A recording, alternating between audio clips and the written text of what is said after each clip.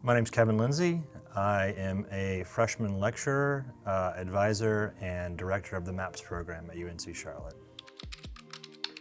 MAP stands for Maximizing Academic and Professional Success. Ultimately what this program is, is a opportunity for students to learn how to transition their mindset from what it was that made them successful in previous educational environments, um, non, non-engineering environments, to what is required to be successful in an engineering environment.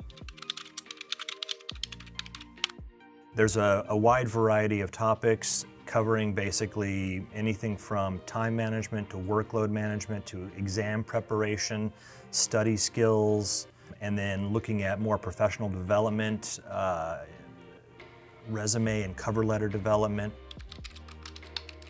The sessions are led by two upper class College of Engineering students who themselves are highly successful and uh, have been through the MAPS program themselves. My name is Elena Santiago. I'm a senior in mechanical engineering and with a math minor. Share my experiences. Uh, I made a lot of mistakes my first year and one thing that really helped me with the MAPS program was my upperclassmen coaches just sharing the mistakes they made and how they overcame them. Um, I think learning perseverance early is really important uh, because you're going to fail a lot as an engineering student, whether it's a test, a project, a class, and learning how to overcome, open yourself up to resources is really, really big thing.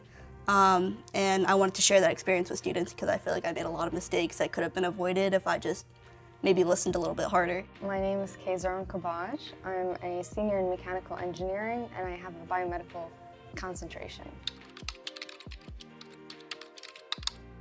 focus on the bigger picture that there's more to engineering than just like doing your homework and going to class. Like it's gonna be your life for the next four years and what you do with it is the most important thing because you can accomplish so much more with it and you you get to experience so much with it if you know how to go about it.